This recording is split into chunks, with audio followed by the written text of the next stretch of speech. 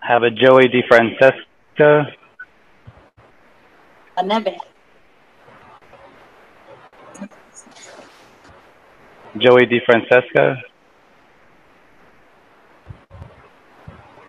Are you there? Needed me. Yes, Joey DeFrancesco. You got me? Yep.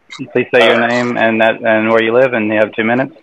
Hi, this is Joey DeFrancesco. Lived in Providence uh, for most of my life. Currently in a period where I'm living in um, Warren. Um, I've been involved in these fights around the police in different phases um, for a very long time, and I'm again echoing everyone else, urging you all to um, defund and on the way to abolishing the police. Um, every time throughout the years the community brings up these issues, it's a fight with the city government. Um, we get little to no serious leadership, and we have to spend months and years fighting for these incremental changes.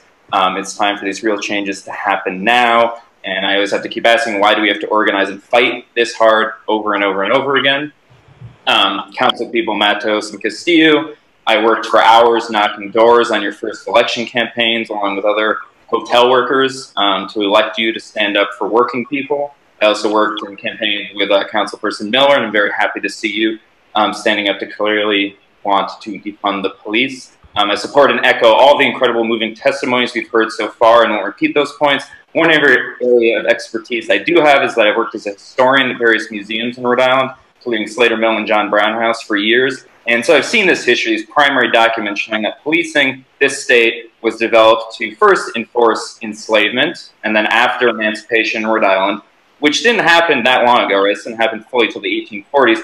Police acted to circumscribe and remove the freedom of formerly enslaved people and their descendants by kicking them out of communities, by imprisoning them, barring them from employment, and more. At the same time, policing emergence during workers' strikes, beginning in the 1820s, going back to the first factory strike in American history in Pawtucket, 1824. Since then, the police have continued to develop, to gain funding, and to continuously become more powerful to keep down organized labor, and in particular to keep down black and brown communities. You have to think to yourselves, which side of this long, difficult history do you want to be on now? So right now we've got a point where we have the political backing and energy to break this cycle, to break this history, to stop giving more and more funding to this institution that was built to oppress the people you're elected to represent. Thank you.